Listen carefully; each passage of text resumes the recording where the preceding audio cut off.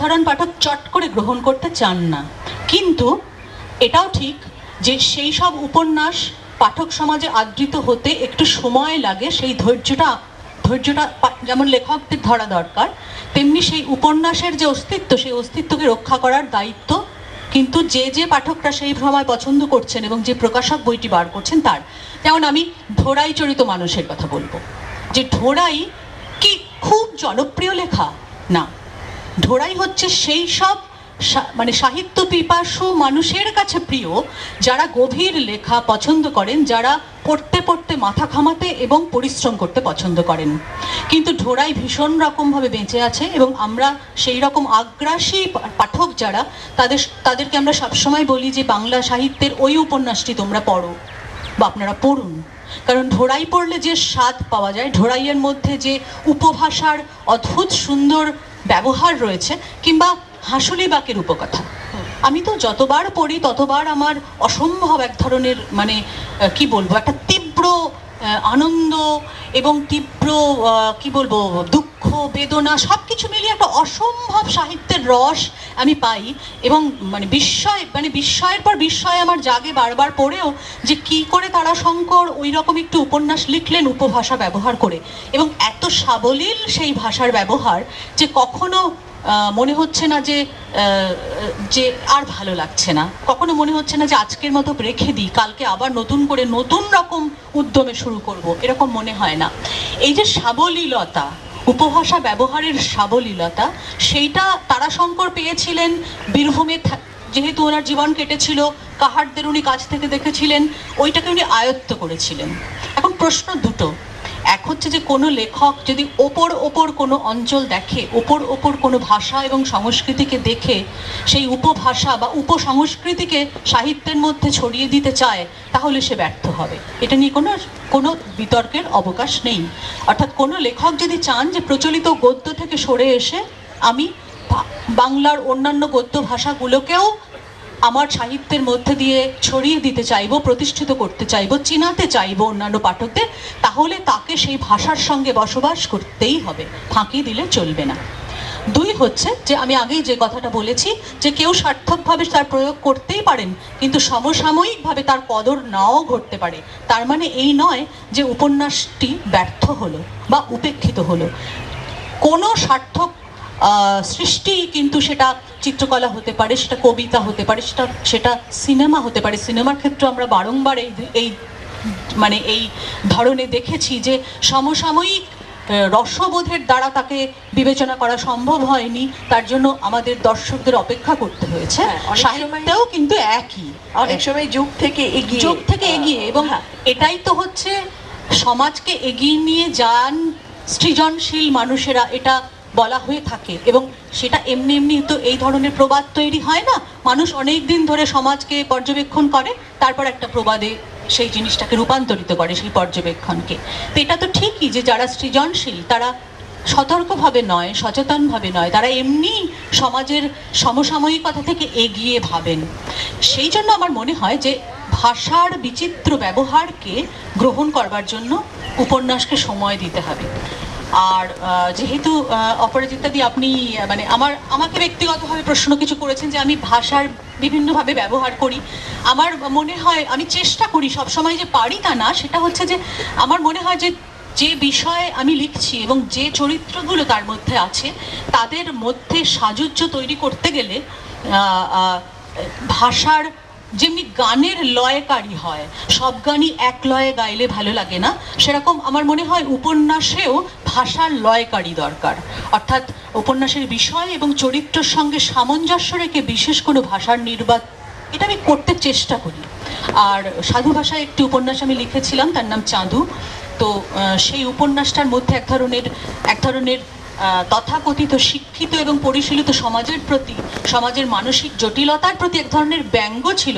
তো আমার আমার বিশ্বাস যে সাধু ভাষায় ব্যঙ্গ যতখানি ফুটিয়ে তোলা যায় কথ্য ভাষায় মানে চলিত গদ্যে ঠিক ঠিক ততটা যেন যায় না। তো আমি সেই ব্যঙ্গের ব্যঙ্গটাকে ফুটিয়ে তোলার জন্য যে, যেটাকে আমি খুব খুব সরাসরি ব্যঙ্গ করব না, কিন্তু আমার ভাষার মাধ্যমে সেই জিনিসটা একটা বুড়ো আঙুল দেখানো থাকবে। এটা করতে চেয়েছিলাম বলে ব্যবহার করেছিলাম, এইভাবে ভাবি আর কি, এইরকম ভাবনা। আর আর কি বলব মানে অনেকেই আমার এটা বলেন যে, অনেক উপন্যাসী তারা তাদের পড়তে কষ্ট হয়, অসুবিধা হয়, কিন্তু আমি কি করব? মানে আমি তো ওই যে বলছি যে, আমি এটা বিশ্বাস করি লেখক তাই শেষ অবধি তিনি যে বিষয়টা লিখছেন তার উপরে। ঠিক কথা এবং খুব সুন্দর একটা কথা তিলোত্তমা বলেছেন, এই যে ঢোড়াই চরিত মানুষের কথা আমি এই ব্যাপারেই আসতে চাই, চাইছিলাম অনিতাদিকে প্রশ্ন করার সূত্রে, যে ঢোড়াইয়ে যেরকম আমরা ঢোড়াই যেরকম এখন ঐতিহাসিকদেরও যদি ওই সময়ের ইতিহাস লিখতে হয়, তাহলে একটা আকর গ্রন্থ হিসেবে ঢোড়াইকে আমরা ব্যবহার করে থাকি। আমি ইতিহাসের ছাত্রী বলে আমি এটা জানি। এইরকম আর আপনি আহ, তারাশঙ্করের আহ, হাঁসুলি বাকের কথা বললেন। এরকম অনেক রয়েছে যেখানে এই এই যেরকম পদ্মা নদীর মাঝি মানিক বন্দ্যোপাধ্যায়ের কিংবা আরেকটু পরে যেটা লেখা হয়েছে উনিশশো চল্লিশের দশকে তিতাস একটি নদীর নাম অদ্বৈত মল্লবর্মণের এই এই ধরনের যে আঞ্চলিক যে প্রান্তিক মানুষরা থাকেন প্রান্তিক মানুষদের যে বসবাস তাদের যে জীবন ধারা সেই সেগুলো পরেও আমরা পেয়েছি। মহাশ্বেতা দেবীর লেখায় পেয়েছি লোধা, সবর ইত্যাদিদের নিয়ে আরও অনেকে লেখায় পেয়েছি। এবং অনিতাদি এখন আমার সবচেয়ে, সবসময় মনে হয় যে অনিতাদি কর্মসূত্রেও কিছুটা এবং অনিতাদি শুধু ওই যে মধ্যবিত্তর ড্রয়িং রুমে উপন্যাস সীমাবদ্ধ না রেখে অনিতাদি অনেকটা এই এই ধরনের প্রান্তিক মানুষদের তাদের বসবাসের ভঙ্গি, তাদের জীবনযাপন, সেই, সেইগুলোও তার, তিনি পর্যবেক্ষণ করেন। কারণ অভিজ্ঞতা যদি মানে অভিজ্ঞতা, পর্যবেক্ষণ এবং কল্পনা এই তিনটে যদি উপন্যাসের প্রধান মাল মশলা বলে আমরা বিবেচনা করি, তাহলে অনিতাদি সেই অভিজ্ঞতাও তার প্রচুর ঝুলিতে রয়েছে এবং তার পর্যবেক্ষণ শক্তিও তিনি একজন সংবেদনশীল মানুষ হিসেবে তিনি দেখেন বিষয়গুলোকে, এই জীবনগুলোকে। তার সঙ্গে কল্পনাও নিশ্চয়ই থাকে, মেশাতে হয়। তা অনিতাদির কাছে আমি এবার তাহলে জিজ্ঞেস করছি। আর স্পেশালি আমার আরেকটা খুব ইন্টারেস্টিং জিনিস মনে হলো অনিতাদির ক্ষেত্রে, কারণ অনিতাদি একটু আগেই বলছিলেন যে অনিতাদি কুড়ি বছর পরে বোধহয় উপন্যাস লিখলেন। শারদ সংখ্যায়। শারদ সংখ্যায় কুড়ি বছর পরে উপন্যাস লিখলেন। অনিতাদির মতন একজন শক্তিশালী উপন্যাসকার কেন শারদ সংখ্যায় কুড়ি বছর পরে উপন্যাস লিখলেন? মানে তাহলে কি আমি আমি কিছুটা সত্য ভাষণ বা অপ্রিয় সত্য ভাষণ করছি? মানে কিছু আহ, লেখার কি লেখা কি চাওয়া হয়নি? বা অনিতাদির লেখার কি সেরকম পাঠক ইয়ে মানে পাঠকদের কাছ থেকে কি দাবি ওঠেনি? কেন কুড়ি বছর লাগল সাল সংখ্যায় লেখা লিখতে অনিতাদি?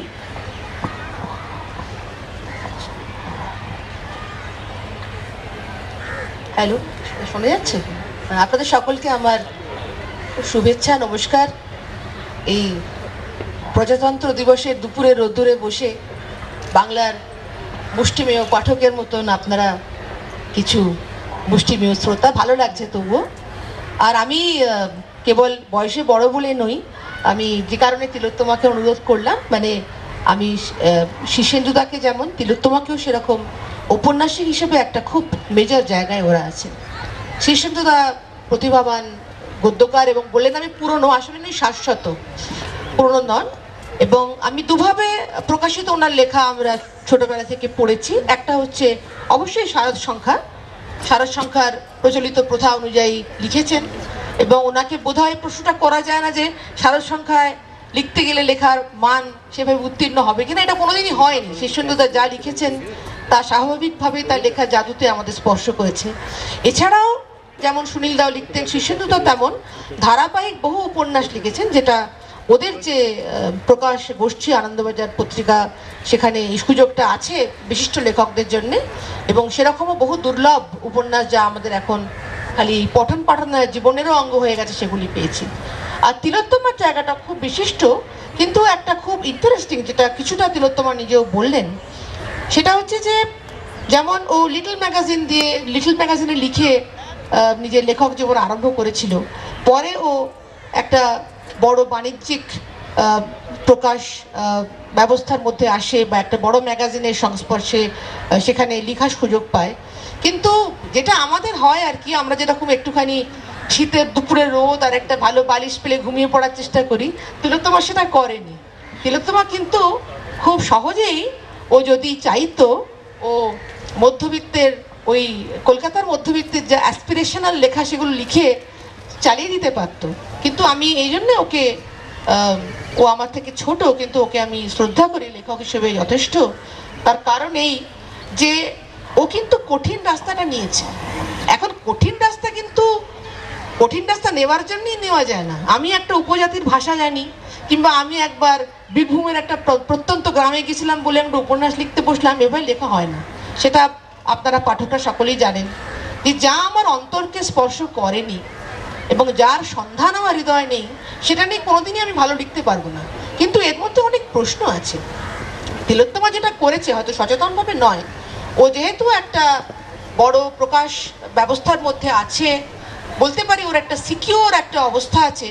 ও সেটাকে কিন্তু নিজের যে ব্যতিক্রমী চিন্তা, তার সমর্থনে ব্যবহার করেছে। ও কঠিন লেখা লিখেছে, ভয় পায়নি, ঠিক আছে। কোনো লেখা একটু বেশি লোকে পড়েছে, কোনো লেখা হয়তো একটু কম পড়েছে। কিন্তু ওর একটা কথা খুবই স্বাভাবিকভাবে এটা ওর কাছ থেকে প্রত্যাশা করেছে, আমি সেটাও বলেছে, যে আমার অ্যাকাউন্টেবিলিটি বা দায়িত্ব কেবল আমারই প্রতি শিল্পী হিসেবে। আমি কিন্তু লেখার সময় পাঠকদের কথা ভাবছি না কি কার ভালো লাগল, কার মন্দ লাগল। যার, আমি এটা অপরাজিতার মুখে শুনলাম মানে ও একটুখানি আমাদের একটু রাগানোর জন্য এটা বলছে। কেউ হয়তো বলে, ওরে বাবা, এত কঠিন লেখা কি করে পড়ব? কেন পড়বেন? টেলিভিশনে এতগুলো চ্যানেল আছে, আপনি দেখুন না। ভালো বাণিজ্যিক সিনেমা আছে, দেখুন মানে যার যা পছন্দ তাই করুন। কিন্তু লেখা কঠিন লেগেছে বলে আপনি বলবেন যে ওরে বাবা কঠিন লাগলে পড়ব না। এইরকম তো মান করলে চলবে না। লেখা কঠিন হবে কঠিন লেখা পড়তে হবে। আমি যেটা একবারে বুঝতে পারি না আপনারা জানেন বিদেশি উপন্যাসের ক্ষেত্রেও একই জিনিস হয়। ইংরাজি বা ফরাসি বা রাশিয়ান উপন্যাসের ক্ষেত্রেও আমরা একাধিকবার পড়ি। কষ্ট হয় অনেক কিছু আছে কিছু পড়ে বুঝতে পারিনি। এখন আবার পড়ছি। তো আমাদের ক্ষেত্রেও আমরা বাঙালি লেখক বলে সত্যি তো আর অবহেলার বস্তু নই। একবারে না বুঝতে পারলে পড়বেন দশবার, অসুবিধা কি আছে? তো সেই কঠিন রাস্তাটা খুব নীরবে তিলোত্তমা নিয়েছে এবং আমার মনে হয় যে লেখালেখি এমন একটা ব্যাপার যেখানে এই মানসিক প্রস্তুতি লেখকের এবং পাঠকের দুপক্ষেরই থাকতে হবে। মানে আপাতত শুধু মনে হয় যে লেখাটা কি এমন ব্যাপার, একটা কাগজ আর কলম। তাও তো অনেকে এখন আবার কলমে লেখেন না। আমি খুব অল্প সংখ্যকদের মধ্যে পড়ি যারা এখনও কলম, পেন দিয়ে কাগজে লিখি। আমার তুমি আছো। আর আমার আমার থেকে বড় যারা অগ্রজ লেখকরা এখন কম্পিউটারে সুন্দর বাংলা ব্যবহার করে লেখে, তাতে সুবিধা হয়। কাটিং পেস্টিং এবং হাতের লেখা পড়ার দায় থেকে আমাদের প্রুফরিডাররা কম্পোজাররা বেঁচে যান। তো কিন্তু আমাদের কিন্তু মানে যাকে ইনভেস্টমেন্ট বলে কিছুই নয়। একটুখানি নির্জন জায়গা, একটু ইন্ট্রসপেকশনের স্পেস একটা কাগজ, কিছু কলম একটা কলম, কিছু কাগজ, এই নিয়ে আমরা লিখি। কিন্তু ব্যাপারটা কিন্তু খুব কঠিন। মানে আপনি একটা ভালো ফিল্ম করলেন, একটা চান্স হয়তো আছে একশোর মধ্যে পাঁচ যে আপনার মনে হলো ফিল্মটা খুব ভালো হয়েছে এবং সেটা প্রচুর একটা ডেবিউয়ের পুরস্কার পেয়ে গেল। আমি এমন লেখককে জানি এবং আমিও তার ব্যতিক্রম নই যে বহু বছর ধরে লিখছে। কিন্তু পাঠকের মনোযোগ যাকে বলে তা পাননি। কিন্তু তাতে কিন্তু তিনিও বিফল হলেন না, তার লেখাও বিফল হলো না। সবকিছু কি একটা গাছের বয়সের মতন? একটা প্রজাপতি হয়তো একটা গাছ থেকে কম দিন বাঁচে, গাছ হয়তো অনেক দিন বাঁচে একইভাবে দাঁড়িয়ে থাকে। মানে এই পাঠকের স্বীকৃতি কবে আসবে যদি লেখক ভাবতে আরম্ভ করেন, তাহলে কিন্তু সে লেখা হয়তো ভালো হবে না। হ্যাঁ এটাও তো সত্যি যে প্রকাশকদের কথাও তো ভাবতে হবে যে, এই তোমরা যদি এরকম লেখা লেখো, আমাদের বইকে কিনবে। মাঝে মাঝে বয়স্ক প্রকাশকরা আমাকে অনুরোধ করে এমন বলেছেন। তো আমি কিছু জনপ্রিয় লেখক লেখিকার নাম করে বলেছি কেন? ওদের দিয়ে আমাকে ক্রস সাবসিডি করে দেবেন। আপনি মনে করুন তারা শুনতে দাম কন্টেম্পোরারি প্রচুর বই বিক্রি হয়। সুচিত্রাদির বই কয়েক হাজার বিক্রি হবে, প্রচিতর বই কয়েক হাজার বিক্রি হবে। তো আপনি একটা সুচিতা একটা প্রচিত দিয়ে আমাকে একটু সাবসিডাইজ করে দেবেন। এটা তো আমি চাইতেই পারি, এখন তো সব জায়গাতে এটা হচ্ছে, তাই না? গ্রামে জল দেওয়া হচ্ছে ইন্ডাস্ট্রির কাছ থেকে নিয়ে, গ্রামকে সাবসিডি দেওয়া হচ্ছে, শহরের কাছ থেকে নিয়ে। তো আমরাও কিছুটা এই ব্যবস্থার সুযোগ পেতে পারি। আমি আজকে এই ওদের কথা আগে শুনে দিলাম তার একটা কারণ হচ্ছে যে আমি এখনকার সময় যারা কঠিন আমি বলব না, যারা নতুন জিনিস লিখছেন, তাদের কথা ভাবলাম, আপনাদের সঙ্গে শেয়ার করি, অনেকের কথা আপনারা জানেন। কিন্তু একটা সবসময় একটা আফসোস আমরা শুনি, সেটা কিছুটা খুব খুব মৃদুভাবে শীর্ষেন্দ্র সেটা স্পর্শ করলেন যে নতুন মুখ সেরকমভাবে উঠে আসছে না। এবং শীর্ষেন্দ্রদা খুবই স্নেহপরায়ণ আমাদের পুরো প্রজন্মের প্রতি। কিন্তু আমি এমন বিশিষ্ট অগ্রজ লেখকদের জানি যারা লিখে বলে দিয়েছেন যে আমাদের পঞ্চাশের দশকের পরে আর লেখাটাকে কিছু হয়নি, আর কেউ লেখে না। এটাও ঘটেছে। তো আমি ওর এই কথা সূত্র ধরে আপনাদের বলি, কিছুটা আমার নিজের জীবনের করুণ কাহিনী। সেটা হচ্ছে যে, কেন কুড়ি বছর পরে লিখলাম? না, এর মধ্যে কোনো করুণ কাহিনী অ্যাকচুয়ালি নেই। আমি একজন খুবই অনিচ্ছুক গদ্য লেখক ছিলাম কবিতায় লিখতাম।